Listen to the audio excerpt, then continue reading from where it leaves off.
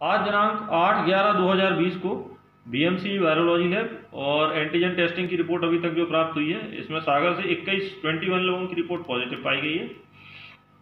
इसके अलावा तीन लोग जिनका इलाज चल रहा था, ये स्वस्थ होकर और डिस्चार्ज कर दिए गए हैं।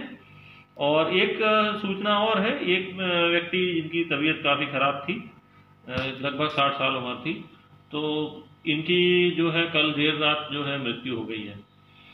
तो आज जो पॉजिटिव आए हैं, उनकी डिटेल बता देता हूँ। पहले जो है, पैंतीस वर्षीय पुरुष सुर्खी से, दूसरे बयालीस वर्षीय पुरुष, ये अमर टोकरी, राष्ट्रीय होटल के पास।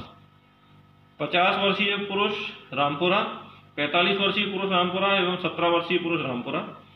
उनचास वर्षीय पुरुष परकोटा वार्ड, चौवन वर्षीय पुरुष मोहन नगर वार्ड, अड़तालीस वर्षीय महिला नरियावली नाका अड़तीस वर्षीय पुरुष एवं बाईस वर्षीय पुरुष देवरी, चौबीस वर्षीय महिला मकरूनिया, उनतालीस वर्षीय महिला मकरूनिया, बहत्तर वर्षीय महिला बंडा एवं इकतालीस वर्षीय महिला बंडा।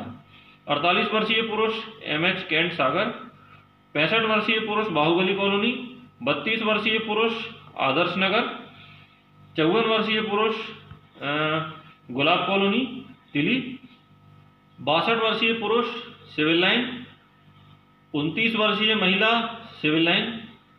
इसके अलावा चौवन वर्षीय पुरुष, चंद्रपुरा सागर। तो आज का यही अपडेट है। सावधानी बनाए रखें। नमस्कार।